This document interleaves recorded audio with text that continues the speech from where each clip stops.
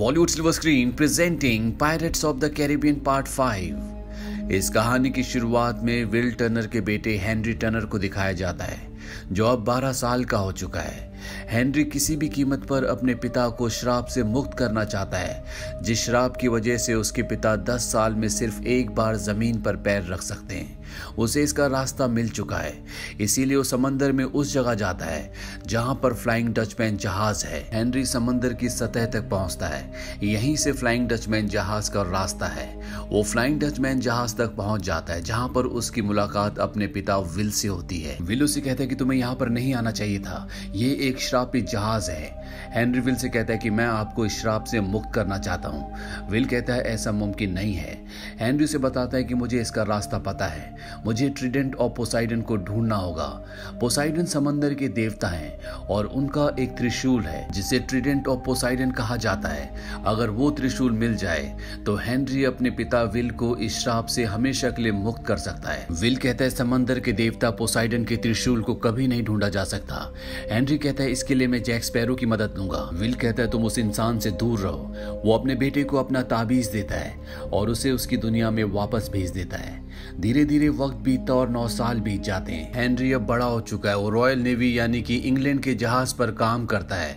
ये जहाज़ पायरेट्स के जहाज़ का पीछा कर रहा होता है। तभी हेनरी मिरर में देखता है कि उनका जहाज़ डेविल्स ट्राइंगल यानी कि शैतानी त्रिकोण की तरफ़ जा रहा है। वो ये बात अपने कैप्टन को बताता है। वो कहता है, आप गलत तरफ़ जा रहे हैं। डेविल्स ट्राइंगल के अंदर जाने के बाद आज तक कोई भी जहाज़ वापस लौट कर नहीं आया। आप गलत तरफ़ जा रहे हैं। कैप्टन को इस बात पर गुस्सा आता है और वो उसे जेल में बंद करवा देता है। अब इनका जहाज़ डेविल्स ट्राइंगल के अंदर एंटर हो जाता है। ये देखते हैं कि इनके सामने एक टूटा फूटा जहाज़ है। पर ये टूटा फूटा जहाज़ होता है सालाजार का, जो कि शैतानी आत्माओं का जहाज़ है। ये सब के सब इन पर हमला करके इन्हें मार देते हैं। सालाजार उस तरफ़ जाता है जहाँ पर हेनरी है। और जब वो उसके सेल के अंदर जाता है तो वो देखता है कि वहाँ पर जैक स्पैरो के पोस्टर्स हैं। हेनरी बताता है कि मैं जैक स्पैरो को ढूंढ रहा हूँ।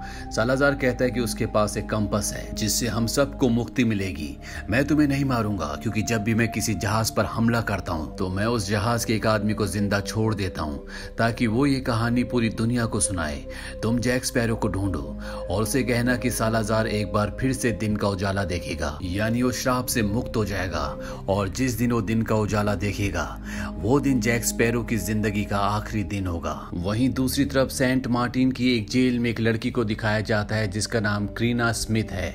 ये एक एस्ट्रोनॉमर है जो चाँद, तारों, ब्रह्मांड के विज्ञान को जानती है, पर यहाँ पर इसे एक जादूगर नहीं समझा जाता है। इसीलिए इसे फांसी दी जानी होती है, पर क्रीना यहाँ से भाग जाती है। वहीं इसी टापू पर एक बैंक को दिखाया जाता है, जो अपनी नई तिजोरी की तारीफ़ कर रहा होता है। वो कहता है कि इसे कभी कोई नहीं खोल सकता, और जब वो उसे खोल कर दिखाते तो उसके अंदर जैक स्पैरो होता है, जो बैंक लूटने के लिए आया होता है, पर शराब पीकर वो वहीं पर सो गया था। उसके आदमी बाहर होते हैं, जो रस्सी के सहारे इस तिजोरी को यहाँ से बाहर निकालने की तैयारी कर रहे होते हैं। जैक स्पैरो के ऊपर गोलियाँ चलाई जाती है और तभी उसके आदमी तिजोरी को खींच लेते हैं। तिजोरी के साथ ये पूरी बिल्डिंग भी खींचती चली जाती है। वहीं जैक स्पैरो यहाँ से एक दुकान के अंदर जाता है जहाँ पर क्रीना स्मिथ होती है। ये दोनों वहाँ से निकल जाते हैं। क्रीना स्मिथ उसे कहती है कि हम दोनों को किसी तरह से इस टापू से निकलना होगा, पर जैक स्पैरो उसे धोखा देकर उसे सिपाहियों के आगे फेंक कर यहाँ से भाग जाता है और सीधा उस जगह जाता है जहाँ पर उसके लोग घोड़ा गाड़ी से तिजोरी के साथ घर को खींच रहे होते हैं। घर एक ब्रिज से टकराता है, जिससे घर तो पीछे रह जाता है और तिजोरी घोड़े के साथ आगे निकल जाती है। जैक स्पैरो तिजोरी खोल कर देखता है तो उसके अंदर सिर्फ़ एक ही सिक्का होता है, क्योंकि तिजोरी खुले होने की वजह से सारा पैसा रास्ते में गिर गया होता है। उसके लोग जैक से परेशान हैं, क्योंकि ना तो उसके पास जहाज़ है और ना ही उनके पास खाने के पैसे। इसीलिए वो उसके साथ काम नहीं करना चाहते।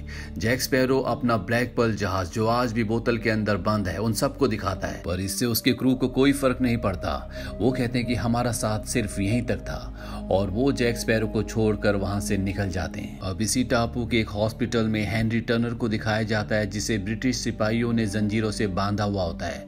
दरअसल वो लकड़ी के टुकड़े के सहारे यहाँ तक तैरता हुआ आ गया और उसे बताया जाता है कि जब तुम यहाँ पर बदहवास पहुँचे थे तो तुम पोसाइडन के त्रिशूल के बारे में कुछ बड़बड़ा रहे थे। हमें यकीन है कि तुमने अपने साथियों को धोखा दिया, इसीलिए पूरे शिप में तुम ही बचे। तुम एक भगोड़े देशद्रोही हो। इसकी सजा तुम्हें ज़रूर मिलेगी। कुछ देर बाद यहाँ पर क्रीना स्मिथ नर्स का भेष बदल कर आती है। दरअसल उसे पता चला होता है कि हेनरी नाम का कोई लड़का है, जो पोसाइडन के त्रिशूल के बारे में बात कर रहा था। वो हेनरी से पूछते कि तुम पोसाइडन के त्रिशूल के बारे में क्या जानते हो? वो बताता है कि ये एक ऐसा त्रिशूल है जो समंदर के सभी श्रापों को हमेशा के लिए खत्म कर सकता है।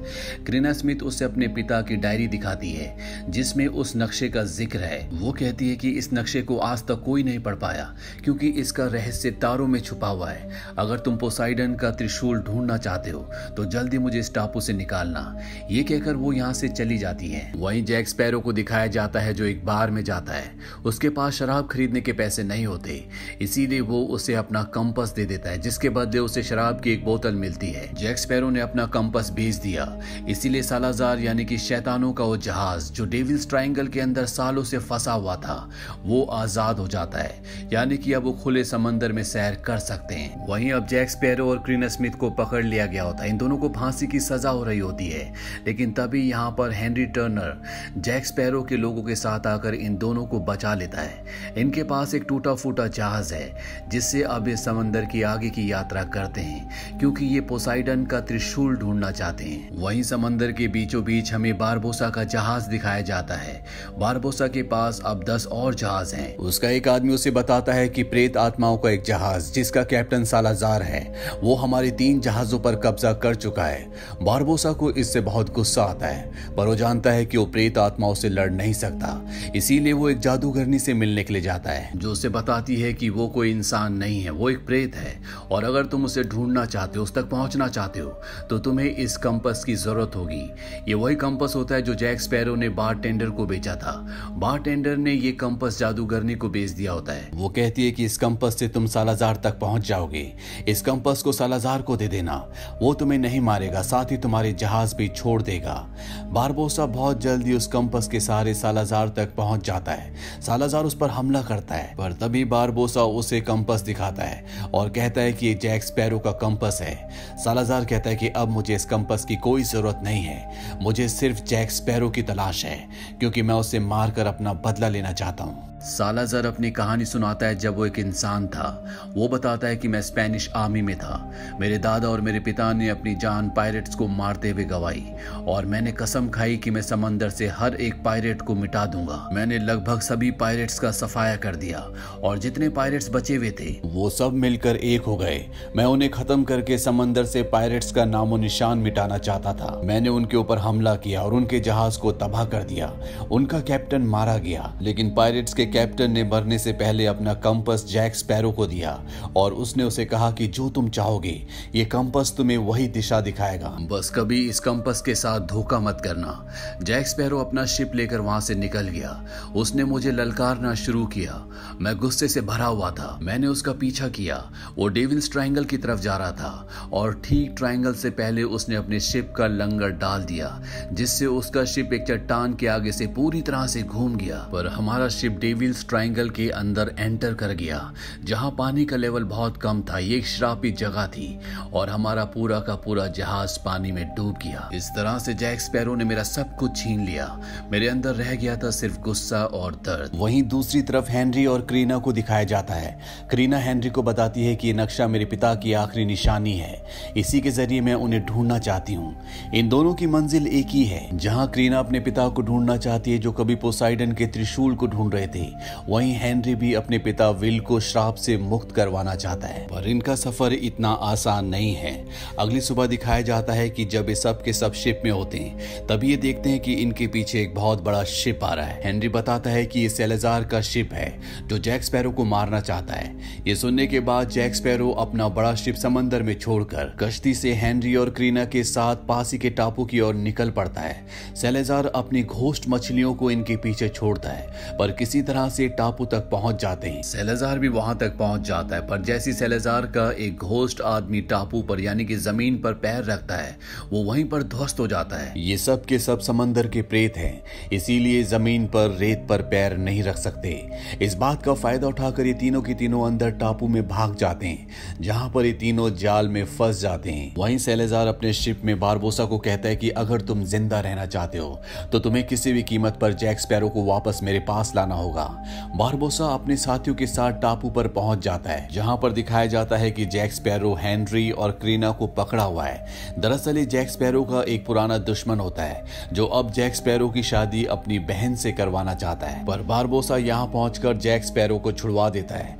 सेलेजार के साथ जो उसने वादा किया था, वो उस वादे को तोड़ देता है। वो जैक स्पैरो से कहता है कि मुझे किसी भी कीमत पर पोसाइडन का त्रिशूल चाहिए, जिससे मैं इन सभी मुर्दों को मार दूँगा।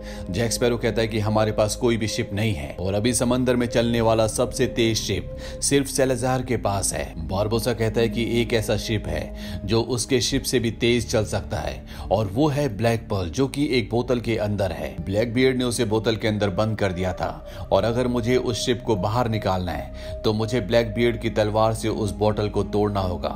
उसके पास ब्लैक बियर्ड की तलवार होती है। इसीलिए वो जैक स्पैरो के शरीर के उस हिस्से पर वार करता है, जहाँ पर वो बोतल है जिसके अंदर ब्लैक पर्ल जहाज़ है।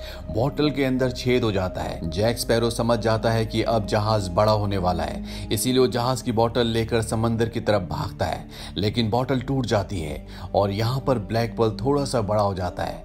जैक उसे एक बार फिर उठाता और समंदर में रख देता है। पर ब्लैक पर्ल छोटा होने की वजह से पानी में डूब जाता है। सब के सब निराश हो जाते हैं। पर कुछ ही पलों के बाद ब्लैक पर्ल अपने असली रूप में समंदर से बाहर निकलता है। और अब बारबोसा इन तीनों को बंदी बनाकर पोसाइडन के त्रिशूल को ढूँढने के लिए अपने आगे के सफ़र पर निकलता है, लेकिन रास्ते में उसे क्रीना को और हेनरी को छोड़ना पड़ता है, क्योंकि इनके शिप में क्रीना ही एक ऐसी लड़की है जो नक्शे पढ़ सकती है। उसके पास उसके पिता की डायरी होती है। बारबोसा जब उस डायरी को देखता है तो उससे पूछता है कि तुम्हारे पास ये डायरी कहाँ से आई? वो कहती है कि मेरे पिता की निशानी थी। बारबोसा कहता है कि इस पर एक माणिक भी था। क्रीना उसे वो माणिक दिखाती है जो आज भी उसके पास होता है। बारबोसा का बंदर वो माणिक छीन भाग जाता है और यहाँ पर बारबोसा पूरी तरह से शांत हो जाता है, क्योंकि क्रीना और कोई नहीं, बल्कि उसी की बेटी होती है। जैक को यहाँ पर बंदी बनाया होता है। जैक ने पूरी बात सुन ली होती है और वो समझ जाता है कि करीना स्मिथ और किसी की नहीं, बल्कि बारबोसा की बेटी है। इसीलिए बारबोसा से इस राज को छुपाने के लिए वो एक सौदा करता है। वो कहता है कि इसके बदले तुम्हें मुझे आज़ाद करना होगा। साथ ही मेरा कंपस भी मुझे लौटाना होगा। पर बारबोसा कहता है कि वो कभी नहीं मानेगी कि उसका पिता एक लुटेरा है। और वो जैक की बात नहीं मानता। तभी हेनरी यहाँ पर देखता है कि ब्रिटिश सिपाहियों का जहाज़ आ गया है, जो इनके जहाज़ के ऊपर हमला करने वाला है। पर इससे पहले कि वो हमला करते, यहाँ पे सलाजार का जहाज़ आ जाता है, जो ब्रिटिश सिपाहियों को पूरी तरह से निस्तो नाबूद कर देता है। इसके बाद वो ब्लैक पर्ल पर भी हमला करता है। पर बारबोसा और उसके आदमी प्रेतों का सामना करते हैं। सेलाजार उस जगह तक पहुँच जाता है जहाँ पर जैक स्पैरो है।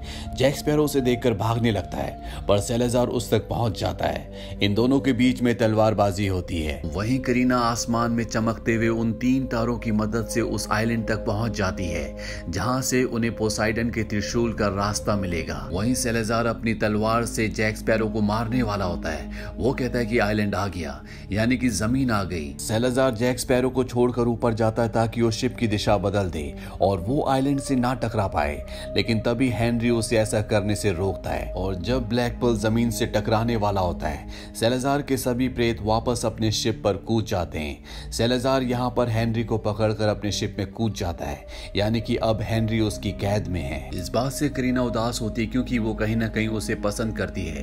बारबोसा कहता है कि अगर हमें पोसाइडन का त्रिशूल मिल जाए तो हेनरी अपने आप ही छूट जाएगा। और अब सूरज निकल जाता है। सूरज निकलने के साथ ये देखते हैं कि इस पूरे आइलैंड पर असंख्य हीरे होते हैं। दरअसल ये पूरा का पूरा आसमान का तारों का एक रिफ्लेक्शन है। यानी कि जिस तरह से आसमान में तारे हैं, ठीक उसी तरह से यहाँ आइलैंड पर हीरे होते हैं। और तभी करीना को यहाँ पर चमकते हुए माणिक दिखते हैं, जो ठीक उसी तरह से होते हैं जिस तरह से आसमान में वो तारे थे। जिन तारों से दिशा पाकर ये सब यहाँ तक पहुँचे थे, लेकिन करीना देखती है इनमें से एक माणिक चमक नहीं रहा होता। और जब वो उस माणिक के पास पहुँचती है तो वो देखती है कि उस माणिक का एक टुकड़ा गायब होता है। ये माणिक का वही टुकड़ा होता है जो करीना के पास था, जो बचपन में उसके पिता ने डायरी के साथ उसके लिए छोड़ दिया था। और अब ये बारबोसा के पास है। बारबोसा उसे कहता है कि इसे पूरा करो। और जैसे करीना उस माणिक के टुकड़े को उस माणिक के साथ जोड़ती है तो यहाँ पर एक तेज रोशनी आती है और समंदर के बीचों बीच एक रास्ता बन जाता है। जैक स्पैरो और करीना उसमें गिर जाते हैं और तब ये देखते हैं कि इनके सामने समंदर के देवता पोसाइडन का त्रिशूल है। ये उस त्रिशूल को लेने के लिए आगे बढ़ते हैं। पर तभी हेनरी इनके ऊपर हमला कर देता है। लेकिन ये हेनरी नहीं होता, बल्कि सालाजार होता है, जिसने हेनरी के शरीर में कब्जा कर लिया है, क्योंकि वो ज़मीन पर पैर नहीं रख सकता, और अब वो जैक स्पैरो को मारना चाहता है। वहीं करीना को दिखाया जाता है जो पोसाइडन के त्रिशूल को निकाल रही होती है। तभी वहाँ पर ब्लास्ट होता है, जिससे त्रिशूल दूर जाकर गिरता है। करीना उसे उठाने लगती है, लेकिन तभी वहाँ पर हेनरी, जिसकी बॉडी के अंदर सालाजार है, वो आ जाता है। वो त्रिशूल उससे छीन लेता है, और इसके बाद सालाजार हेनरी की बॉडी से बाहर निकल जाता है, और अब वो त्रिशूल से जैक की तरफ़ बढ़ता है वो जैक के शरीर पर त्रिशूल से वार करता है, पर वहाँ पर नक्शे वाली डायरी होती है जिससे वो बच जाता है। हेनरी और करीना समझ जाते हैं कि समंदर की हर एक चीज़, हर एक शक्ति त्रिशूल के अंदर है, और अगर इन सबको खत्म करना है तो त्रिशूल को तोड़ना होगा। इसीलिए हेनरी अपनी तलवार से त्रिशूल को तोड़ देता है। त्रिशूल के टूटते समंदर में जितने भी श्राप होते हैं, वो सब के सब खत्म हो जाते हैं। सालाजार और उसके आदमी जो सब के सब प्रेत हैं, वो भी इंसानों में बदल जाते हैं। और अब समंदर के बीच में जो रास्ता बना होता है वो मिलना शुरू हो जाता है। लेकिन इससे पहले कि सब के सब पानी में डूब जाते, बारबोसा ब्लैक पर्ल के एंकर, यानी कि उसके लंगड़ में बैठकर नीचे उतर आता है। और जैक स्पैरो, हेनरी और अपनी बेटी करीना को उसमें बिठा लेता है। अब लंगड़ ऊपर खींचा जा रहा होता है, पर तभी उसकी बेटी का हाथ छूट जाता है, पर बारबोसा उसे पकड़ लेता है। यहाँ करीना बारबोसा के हाथ में एक टैटू देखती है, जिससे वो समझ जाती है कि वही उसके पिता है। वही लंगर के नीचे दिखाया जाता है, जहाँ पर सालाजार भी लटका हुआ होता है। जिसे मारने के लिए बारबोसा कूद जाता है और अपनी तलवार से उसे मारकर खुद भी पानी में समा जाता है।